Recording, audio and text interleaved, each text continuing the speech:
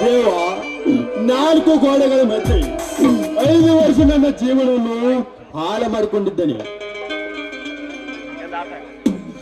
ನನ್ನ ಹೆಂಡತಿ ಸಾವಿಗೆ ಕಾರಣ ದುಷ್ಟರ ಗಂಟಲ ಶಿರ ಶಿರವನ್ನು ಹರಿದು ರಕ್ತ ಲೇಪನದಿಂದ ದೀಪಾವಳಿ ನಿವಾದಿ ಮಾಡಿ. ನಿಜವಾದ ಕೊಲೆಗಾರನನ್ನು ಕಂಡು ಹಿಡಿದು ಶಾಂತಿ ನೆಮ್ಮದಿನೇ ಇಲ್ಲ. ನನ್ನ ಬಾಳಿನಲ್ಲಿ